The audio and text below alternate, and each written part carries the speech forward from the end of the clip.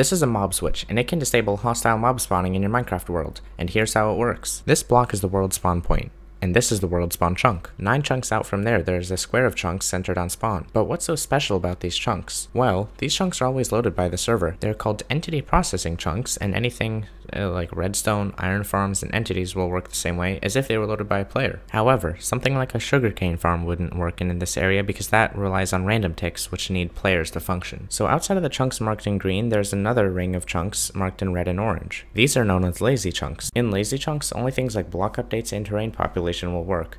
Mobs still count to the mob cap, but they wouldn't be processed as they normally would be in entity processing chunks. Now that we know about lazy and entity processing chunks, let's talk about the mob cap.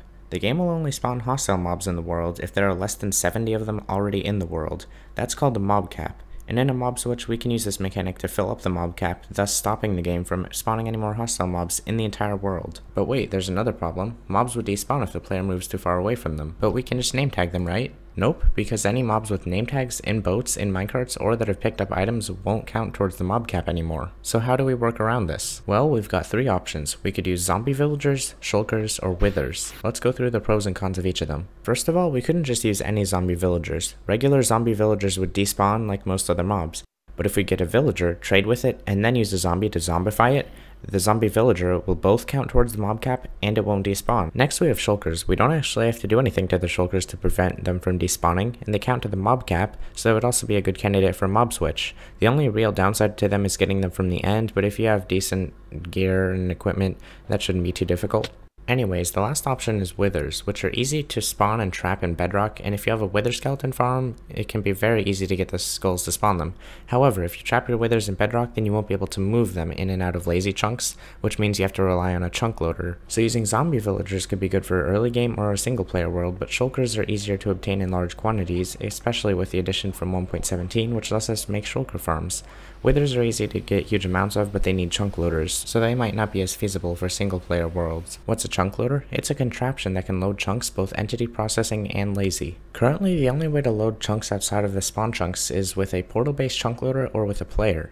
The way a chunk loader works is sending an entity back and forth through a nether portal. When an entity goes through the portal, it'll load the dimension it went into for 15 seconds or 300 game ticks. In case you didn't know, 20 game ticks in a second. The portal will then load a 3x3 of entity processing chunks centered on itself, and then a 5x5 ring of lazy loaded chunks around that. So if we were to build a wither-based mob switch, we would only be able to toggle it using a chunk loader by simply stopping the cycle of entities going through the dimensions.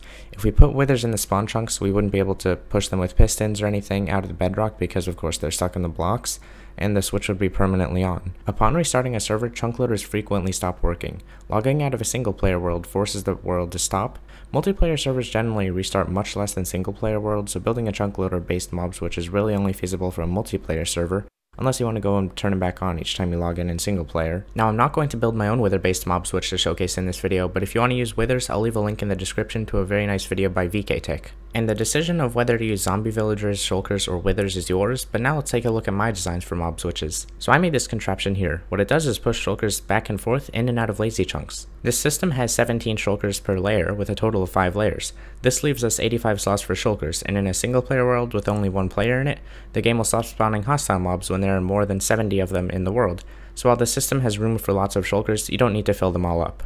If you're on a multiplayer server, the system can easily be scaled up to fit more shulkers in it and it can all be toggled with a lever at the bottom of the machine. And to send a shulker into the system, all you have to do is send a shulker in a minecart down the rail and the system will do the rest for you. Also, when I say push mobs in and out of the lazy chunks, I mean out of the lazy chunks and into unloaded chunks, and then back from uh, unloaded chunks into the lazy chunks, and this way when they're in the lazy chunks they count to the mob cap, and when they're out of the lazy chunks they're no longer loaded, and therefore they don't count to the mob cap. I also made the zombie villager version which could be better for early game if you haven't been to the end yet.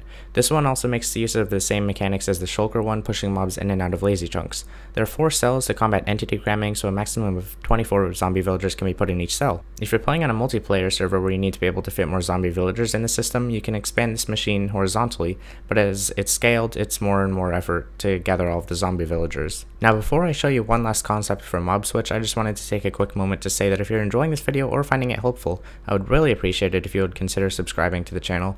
If you did, thank you very much. Anyways, this same concept can be applied to prevent passive mob spawning as well, but much less mobs are required for those. You see, the passive mob cap is only 10, so we only need to get 10 passive mobs per player into lazy chunks of spawn chunks or a chunk loader. Also, passive mobs don't despawn even if you feed them, which means we can get a handful of anything like sheep, cows, pigs, or chickens and just leave them there in lazy chunks. We can use the same mob switch design as we did for the zombie villagers for passive mobs. In case you were wondering, the reason the mobs are moved up across and then back down is that we can ensure they are all within the lazy chunks or outside of them. However, something to keep in mind is that this mob cap doesn't include things like fish, bats, and a few other things, those all have different mob caps. Now, if you're on a multiplayer server, you might be wondering how many mobs you need for your mob switch. Well, for every player that would generally be online at once, you want to add 70 hostile mobs to your hostile mob switch. So if your server would have a maximum of 3 people on at once, then you would only need around 210 hostile mobs, and for every player online, you would want to add 10 passive mobs into your passive mob switch, so for 3 players, you would need around 30 mobs there.